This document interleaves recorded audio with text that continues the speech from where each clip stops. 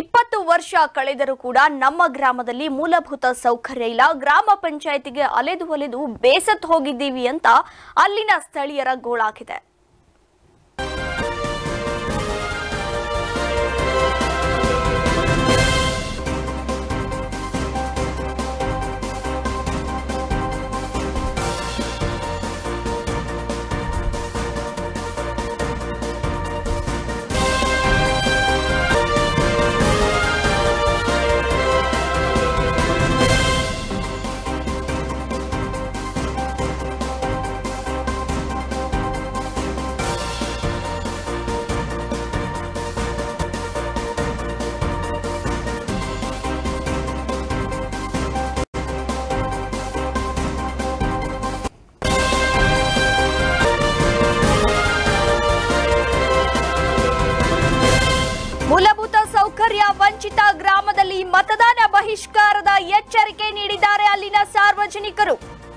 ಸಚಿವ ವಿ ಸೋಮಣ್ಣ ಅವರು ಉಸ್ತುವಾರಿ ಜಿಲ್ಲೆಯಲ್ಲಿನ ಜನತೆಯ ಗೋಳು ಇದಾಗಿರುತ್ತೆ.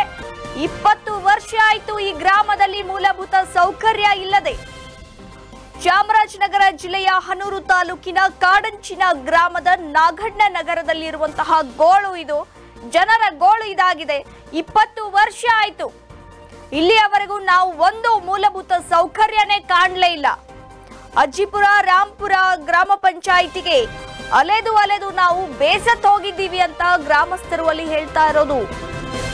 ಹನೂರು ವಿಧಾನಸಭಾ ಕ್ಷೇತ್ರದಲ್ಲಿ ಮೂಲಭೂತ ಸೌಕರ್ಯ ಕೊರತೆ ಇದೆ. ಶಾಸಕ ಆರ್ ನರೇಂದ್ರ ಅವರ ವಿಧಾನಸಭಾ ಕ್ಷೇತ್ರ ಇದು. ಈ ಗ್ರಾಮದಲ್ಲಿ ನಾನೂರು ಮತದಾರರು ಇರುವಂತಹ ನಗರ ಇದು. ನಾಗಣ್ಣ ನಗರದಲ್ಲಿ ನಾನ್ನೂರು ಮತದಾರರು ಇರುವಂತಹ ಗ್ರಾಮ ಇದು. ಇಲ್ಲಿ ಮತದಾನ ಬಹಿಷ್ಕಾರದ ಎಚ್ಚರಿಕೆ ನೀಡಿದ್ದಾರೆ ಗ್ರಾಮಸ್ಥರು. ನೋಡಿ ದೃಶ್ಯದಲ್ಲಿ ನೋಡ್ತಾ ಇದ್ರಿ. ಈಗ ಚುನಾವಣೆ ಬರ್ತಾ ಇದೆ. ಇದಕ್ಕೋಸ್ಕರ ಮತ ಕೇಳಲಿಕ್ಕೆ ಬರ್ತಾರೆ ಹೊರತು ಇಲ್ಲಿ ಏನು ಸಮಸ್ಯೆ ಇದೆ ನಮ್ಮ ಗ್ರಾಮದಲ್ಲಿ ಅದನ್ನ ಮಾತ್ರ ಕೇಳೋದಿಲ್ಲ. ಇನ್ನು ನಾವ್ಯಾಕೆ ಹೋಟ್ ಹಾಕ್ಬೇಕು ಇವರುಗಳಿಗೆಲ್ಲ? ಯಾವ ಪಕ್ಷದವರಾದ್ರೇನು ಅಭಿವೃದ್ಧಿನೇ ಕಾಣ್ತಾ ಇಲ್ಲ ನಮ್ಮ ಗ್ರಾಮದಲ್ಲಿ. ಮತ ಕೇಳಲಿಕ್ಕೆ ಎಲ್ಲಾ ಮನೆಗೂ ಬರ್ತಾರೆ. ಕೈ ಮುಗಿತಾರೆ, ಬೇಡ್ಕೊಳ್ತಾರೆ, ಏನಾದ್ರೂ ಕೊಟ್ಟೋಗ್ತಾರೆ ಕೈಯಿಂದ ಆದಷ್ಟು.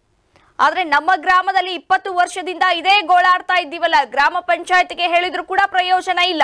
ಅವ್ರಾಯ್ತು ಅವ್ರ ಕೆಲಸ ಆಯ್ತು. ಯಾರೊಬ್ರು ಕೂಡ ನಮ್ಮ ಗ್ರಾಮಕ್ಕೆ ಮೂಲಭೂತ ಸೌಕರ್ಯವನ್ನ ತರ್ತಾ ಇಲ್ಲ. ನಾವ್ಯಾಕೆ ಮತದಾನ ಮಾಡಬೇಕು ಎಲ್ಲಾ ಪಕ್ಷಗಳಲ್ಲಿ? ಬಹಿಷ್ಕಾರದ ಎಚ್ಚರಿಕೆ ಹಾಕಿದ್ದಾರೆ ಅಲ್ಲಿರುವ ಗ್ರಾಮಸ್ಥರು. ದೃಶ್ಯದಲ್ಲಿ ನೀವು ನೋಡ್ತಾ ಇದ್ದೀರಿ, ಎಕ್ಸ್ಕ್ಲೂಸಿವ್ ದೃಶ್ಯವನ್ನ ನಾವು ನಿಮಗೆ ತೋರಿಸ್ತಾ ಇದ್ದೀವಿ. ಸಚಿವ ವಿ ಸೋಮಣ್ಣ ಅವರು ಉಸ್ತುವಾರಿ ಜಿಲ್ಲೆಯಲ್ಲಿನ ಜನತೆಯ ಗೋಳು ಇದಾಗಿರುತ್ತೆ.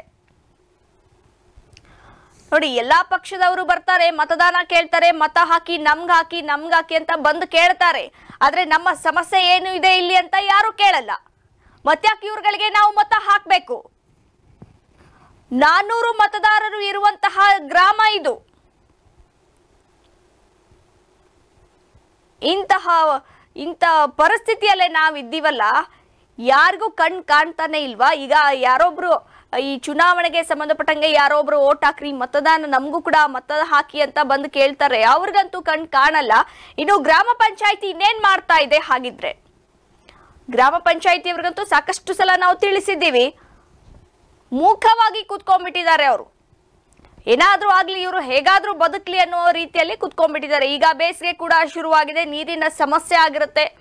ಹಾಗೆ ಅಲ್ಲೇನೆಲ್ಲ ಮೂಲಭೂತ ಸೌಕರ್ಯಕ್ಕೆ ಸಂಬಂಧಪಟ್ಟಂತೆ ಏನೆಲ್ಲ ಕೆಲಸಗಳು ಆಗ್ಬೇಕಾಗಿರುತ್ತೆ, ಯಾವುದು ಕೂಡ ಕಾಣ್ತಾ ಇಲ್ಲ ನಾವಿಲ್ಲಿ.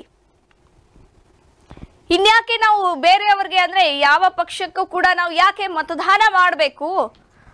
ನಮ್ಮಗಳ ಸಮಸ್ಯೆನ ಇವರು ಆಲಿಸ್ತಿಲ್ಲ ಅಂತ ಆದ್ಮೇಲೆ ನಾವ್ಯಾಕೆ ಇವ್ರುಗಳಿಗೆ ಮತ ಹಾಕ್ಬೇಕು, ಗೆಲ್ಲಿಸ್ಬೇಕು? ಎಲೆಕ್ಷನ್ ಬರೋ ಟೈಮಲ್ಲಿ ನಾವು ನೆನಪಾಗ್ತೀವಿ ಇವ್ರಿಗೆ. ಎಲೆಕ್ಷನ್ ಮುಗಿತಾ ಇದ್ದಂಗೆ ನಾವು ಮರ್ತೋಗ್ತೀವಿ. ಐದು ವರ್ಷದವರೆಗೂ ನಾವು ನೆನಪಿರಲ್ಲ.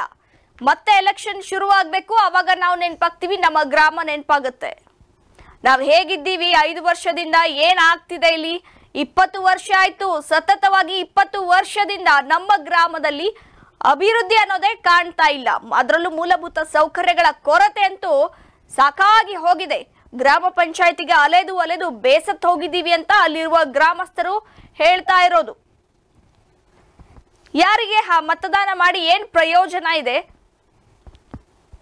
ಕರೆಕ್ಟ್ ಆಗಿ ಅಲ್ವಾ? ಅವ್ರ ಎಚ್ಚರಿಕೆ ಕೂಡ ಹಾಕಿರೋದು ಕರೆಕ್ಟ್ ಆಗಿದೆ. ಯಾಕಂದ್ರೆ ಗ್ರಾಮ ಪಂಚಾಯತಿಗೂ ಕೂಡ ಪ್ರಯೋಜನ ಆಗ್ತಾ ಇಲ್ಲ.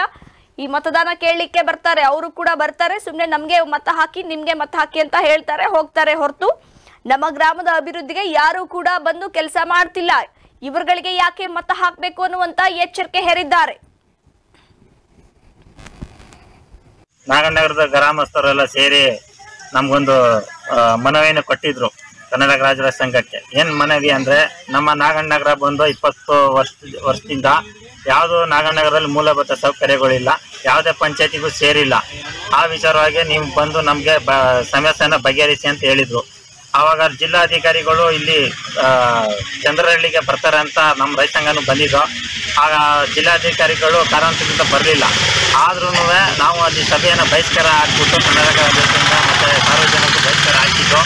ಏನಪ್ಪ ಅಂದರೆ ಇಲ್ಲಿ ಬಂದು ತಹಸೀಲ್ದಾರ್ ಆಗಲಿ ಡಿ ಸಿ, ಖುದ್ದಾಗಿ ಡಿ ಸಿ ಅವರು ಬಂದು ಈ ನಾಗನಗರ ಸಮಸ್ಯೆನ ಬಗೆಹರಿಸ್ಕೊಡ್ಬೇಕು.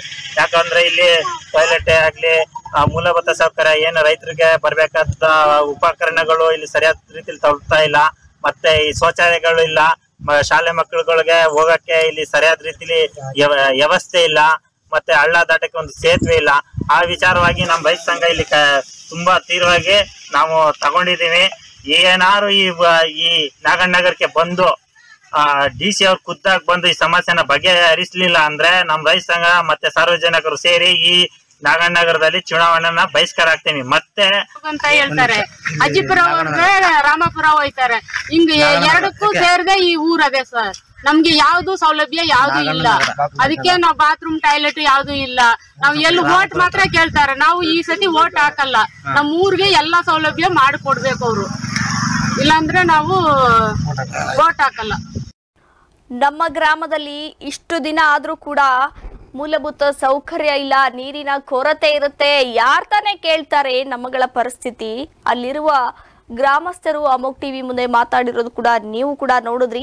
ಅಜ್ಜಿಪುರ ರಾಂಪುರ ಗ್ರಾಮ ಪಂಚಾಯತಿಗಂತೂ ನಾವು ಅಲೆದು ಅಲೆದು ಅಲೆದು ಸಾಕಾಗಿ ಹೋಗ್ಬಿಟ್ಟಿದೆ ಅನ್ನುವಂತಹ ಮಾತುಗಳನ್ನ ಆಡಿದ್ರು. ಎಸ್ ಈ ಕುರಿತು ಡೀಟೇಲ್ಸ್ ಅನ್ನ ನೀಡಲಿಕ್ಕೆ ನಮ್ಮ ಪ್ರತಿನಿಧಿ ಶಿವಕುಮಾರ್ ದೂರವಾಣಿ ಸಂಪರ್ಕದಲ್ಲಿದ್ದಾರೆ. ಎಸ್ ಶಿವಕುಮಾರ್. ಶಿವಕುಮಾರ್ ಕೇಳಿಸ್ತಾ ಇದೆಯಾ?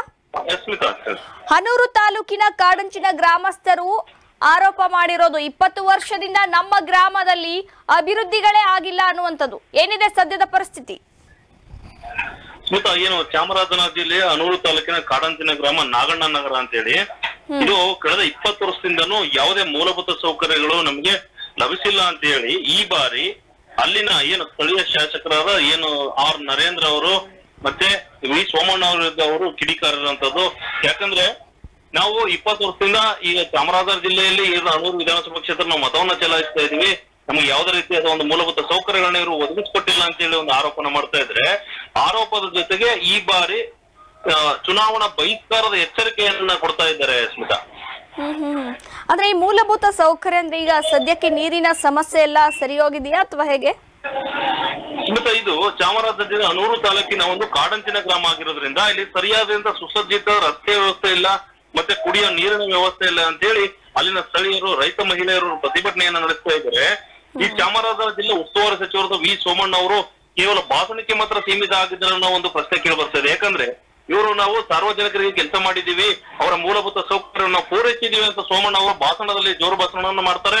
ಆದ್ರೆ ಇಲ್ಲಿ ಜಿಲ್ಲೆಯ ಜನತೆ ಅವರ ಉಸ್ತುವಾರಿ ಜಿಲ್ಲೆಯಲ್ಲಿ ಜನತೆ ಈಗ ಹಲವಾರು ಮೂಲಭೂತ ಸೌಕರ್ಯಗಳಿಂದ ಪರಿತಪಿಸ್ತಾ ಇರುವಂತದನ್ನ ನಾವು ಕಾಣಬಹುದಾಗಿದೆ ಎಸ್ ಶಿವಕುಮಾರ್ ಈಗ ಸ್ಥಳಕ್ಕೆ ಅಲ್ಲಿ ಸಚಿವರಾಗ್ಲಿ ಶಾಸಕರಾಗ್ಲಿ ಯಾರಾದ್ರೂ ಹೋಗಿದ್ದಾರಾ?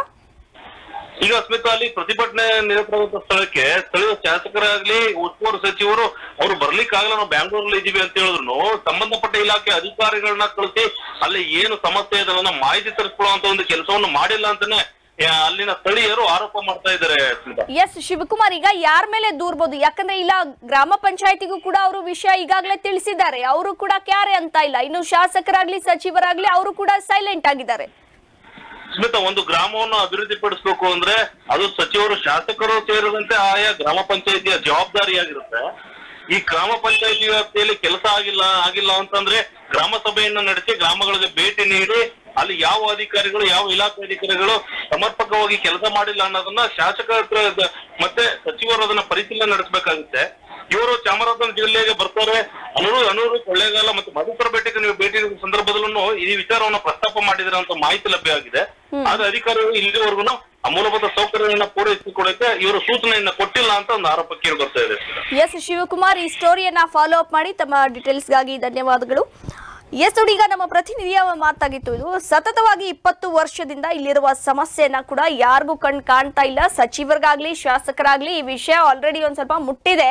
ಆದ್ರೂ ಕೂಡ ಅವರು ಇಲ್ಲಿ ಬಂದು ಗಮನ ಹರಿಸಬೇಕಾಗುತ್ತೆ. ಸ್ವಲ್ಪ ಜವಾಬ್ದಾರಿಯನ್ನ ತೆಗೆದುಕೊಳ್ಬೇಕಾಗುತ್ತೆ. ಯಾಕಂದ್ರೆ ಈ ಗ್ರಾಮ ಪಂಚಾಯತಿ ಇಷ್ಟೊಂದು ನಿರ್ಲಕ್ಷ್ಯ ವಹಿಸ್ತಾ ಇದೆ ಅಂತಂದ್ರೆ ಮೇನ್ ಇಲ್ಲಿ ಶಾಸಕರು, ಸಚಿವರು ಬಂದು ಇಲ್ಲಿ ಏನಾಗ್ತಿದೆ ಅನ್ನುವಂತ ಒಂದು ಗಮನ ಹರಿಸಬೇಕು. ಸಮಸ್ಯೆ ಎಲ್ಲ ಆಗ್ತಿದೆ. ಗ್ರಾಮ ಪಂಚಾಯತಿ ಅಧಿಕಾರಿಗಳ ಯಾಕೆ ನಿರ್ಲಕ್ಷ್ಯ ವಹಿಸ್ತಾ ಇದ್ದಾರೆ?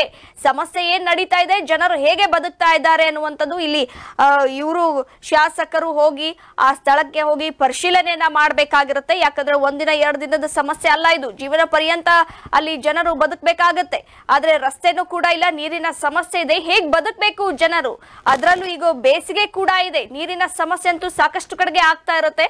ಆದಷ್ಟು ಬೇಗ ಇದನ್ನ ಇಲ್ಲೇನಿ ಪರಿಸ್ಥಿತಿ ಕಾಣ್ತಾ ಇದೆಯಲ್ಲ, ಇದೆಲ್ಲವೂ ಕೂಡ ಅಲ್ಲಿ ಏನೆಲ್ಲ ಬೇಕಾಗುತ್ತೆ, ಸೌಲಭ್ಯಗಳನ್ನ ಒದಗಿಸಬೇಕು ಅನ್ನುವಂಥದ್ದು ಅಲ್ಲಿ ಗ್ರಾಮಸ್ಥರು ಒತ್ತಾಯ ಹೇರಿದ್ದಾರೆ. ಶಾಸಕರ ಮೇಲೆ ಆಗಲಿ ಅಥವಾ ಸಚಿವರ ಮೇಲೆ ಆದಷ್ಟು ಬೇಗ ಸ್ಥಳಕ್ಕೆ ಹೋಗಿ ಪರಿಶೀಲನೆಯನ್ನ ಮಾಡಿ, ಅಲ್ಲಿ ಜನರಿಗೆ ಏನೆಲ್ಲ ಸೌಕರ್ಯ ಬೇಕು, ಆದಷ್ಟು ಬೇಗ ಅದನ್ನ ಒದಗಿಸಿ ಕೊಡಬೇಕು ಅನ್ನೋದು ಅಮೋಕ್ ಟಿವಿಯ ಒಂದು ಕಳಕಳೆಯ ವಿನಂತಿ ಕೂಡ ಆಗಿದೆ. ಹಾಗೆ ನಮ್ಮ ಪ್ರತಿನಿಧಿ ಕೂಡ ಈ ಸ್ಟೋರಿಯನ್ನ ಫಾಲೋ ಅಪ್ ಮಾಡ್ತಾರೆ. ಮುಂದಿನ ದಿನಗಳಲ್ಲಿ ಏನೆಲ್ಲ ಬದಲಾವಣೆಗಳು ಕಾಣ್ತವೆ ಕಾದು ನೋಡ್ಬೇಕಿದೆ.